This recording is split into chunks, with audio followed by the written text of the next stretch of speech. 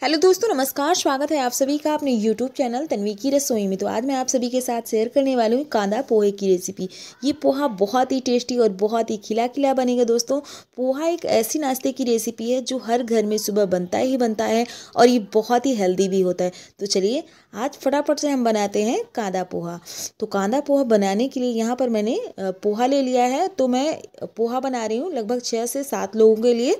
आप जितना बनाना चाहते हो उतनी क्वांटिटी में पोहा ले सकते हो।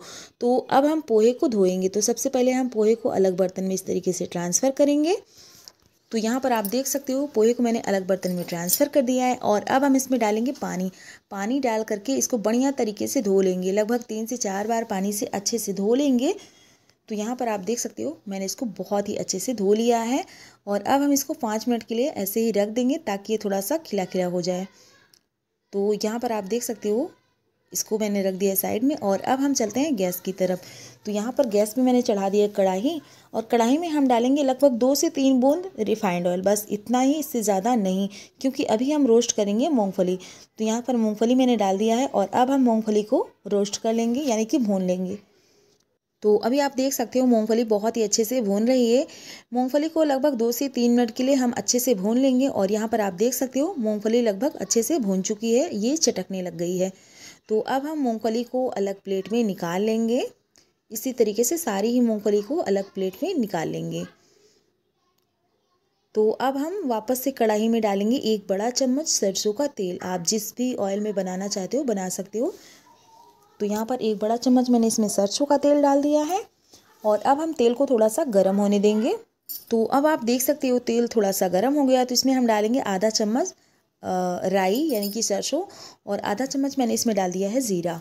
और अब हम इसमें डालेंगे बारीक कटा हुआ प्याज। प्याज को मैंने स्लाइसेस में कट कर लिया है। एक मीडियम साइज़ का प्याज ले लिया था मैंने इसको। इस तरीके से कट कर लिया है। प्याज को हम थोड़ी देर के लिए भूनेंगे। तो अब यहाँ पर आप देख सकते हो, प्याज को मैंने थोड़ी देर के लिए भून लिया है। तो अब हम इसमें डालेंगे कड़ी पत्ता।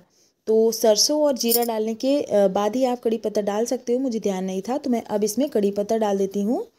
तो अभी मैं प्याज को इस तरीके से थोड़ा सा किनारे करूँगी और यहाँ पर 10 से 12 कड़ी पत्ता डाल दिया है मैंने। कड़ी पत्ता को थोड़ी देर के लिए इस तरीके से पकने देंगे। कड़ी पत्ता से हमारी जो पोहे हैं, उनमें टेस्ट बहुत ही बढ़िया आएगा। तो बस इस तरीके से इसको मिक्स कर दूँगी। और थोड़ी देर के लिए इनको हम भुनने देंगे। यानी कि प्याज को भी थोड़ा सा हम अभी भुनने देंगे। तो अब यहाँ पर आप देख सकते हो प्याज हमारी लगभग बढ़िया से भून चुकी है। तो अब हम इसमें डालेंगे मिर्ची। तो यहाँ पर तीन हरा मिर्च ले लिया था मैंने इसको। दो भागों में कट कर लिया है। बीच से उसको फाड़ लिया है और काट करके डाल दिया है। तो बस मिर्ची को भी हम थोड़ा सा इस तरीके से भून लेंगे। और अब हम इसमें डालेंगे हल्दी। तो यहाँ पर हल्दी ज़्यादा नहीं डालना है। थोड़ा सा हम इसमें हल्दी डालेंगे कलर के लिए। और इसको भी हम थोड़ा सा चलाएँगे। इसको चलाने के बाद अब हम इसमें डालेंगे हरा मटर। तो यहाँ पर हरा मटर ले लिया मैंने, इसको हम डाल देंगे। तो अब हम मटर को डालेंगे और मटर को डालने के बाद इसको भी थोड़ा सा हम चलाएँगे और थोड़ी देर के लिए हम इसको भी पकने देंगे।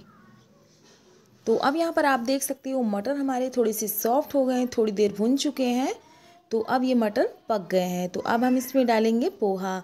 मटर जब थोड़ा सा सॉफ्ट हो जाए तो इसमें आप डाल दीजिए पोहा। तो अब हम इसमें पोहा डाल देते हैं। सारे ही पोहे को इसमें डाल देंगे। अभी आप देख सकते हो कितना खिला खिला पोहा हो गया है। तो अब हम सारे ही पोहे को डाल देंगे इस तरीके से। तो अब यहाँ पर आप देख सकते हो सारे ही पोहे को मैंने डाल दिया है। और अब हम पोहे को अच्छे से मिक्स करेंगे। सभी चीज़ों के साथ पोहे को बहुत ही अच्छे से मिक्स कर लेना है। और ये पोहा दोस्तों बहुत ही टेस्टी बहुत ही ज़बरदस्त बन करके तैयार होगा। एक बार मेरे तरीके से कांदा पोहा आप ज़रूर बनाइए, आपको बहुत बहुत पसंद आएगा। तो यहाँ पर आप देख सकते हो इस तरीके से हम पोहे को लगातार चलाएँगे। गैस की फ्लेम को मैंने मीडियम रखा है। तो अभी आप देख सकते हो पोहे को मैंने बहुत ही अच्छे से मिक्स कर लिया है और इसका कलर देखिए बहुत ही प्यारा लग रहा है। तो अब हम इसमें डालेंगे। मूंगफली, जो हमने मूंगफली रोस्ट करके रखा था ना, सारी मूंगफली को इसमें डाल देंगे। अभी आप देख सकते हो, पोहा कितना खिला खिला है। तो अब यहाँ पर आप देख सकते हो, सारी ही मूंगफली को मैंने डाल दिया है। तो मूंगफली को डालने के बाद इसको बढ़िया तरीके से मिक्स करेंगे। आपको देखने से ही पता चल रहा होगा कि ये पोहा कितना खिला खिला और कितना ज़बरदस्त बना हुआ है। तो अब हम इसमें डालेंगे, टेस्ट के अकॉर्डिंग नमक। नमक आप अपने हिसाब से डालिएगा। तो नमक डालने के बाद इसको बढ़िया तरीके से मिक्स करेंगे। तो उम्मीद है दोस्तों कि आज की ये बहुत ही आसान और बहुत ही टेस्टी और हेल्दी पोहे की रेसिपी आपको बहुत पसंद आई होगी।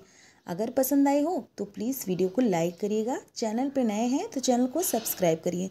साथ ही बेल आइकन को प्रेस करिए ऑल पे क्लिक कर दीजिए, ताकि मेरी आने वाली सभी वीडियो की नोटिफिकेशन आप लोगों तक पहुँचती रहे। तो यहाँ पर पोहा अच्छे से मिक्स हो गया तो अब हम इसमें डालेंगे बारीक कटी हुई हरी धनिया। गैस की फ्लेम को मैंने बंद कर दिया है। पोहा हमारा रेडी है। तो यहाँ पर हरी धनिया को डाल करके अच्छे से मिक्स करेंगे। इसके बाद इसको सर्व करेंगे। तो यहाँ पर आप देख सकते हो धनिया को बहुत ही अच्छे से मिक्स कर लिया मैंने। तो यहाँ पर आपको देखने से ही पता चल रहा होगा कि पोहा हमारा कैसा बना है। और अब हम पोहे को निकालेंगे अलग प्लेट में। तो अभी आप देख सकते हो, पोहे को मैंने अलग प्लेट में निकाल लिया है और ये दिखने में बहुत ही ज़बरदस्त लग रहे हैं दोस्तों। तो फिर मिलती हूँ अगली वीडियो में ऐसे ही नई नई और इजी रेसिपी के साथ। तब तक के लिए बाय बाय टेक केयर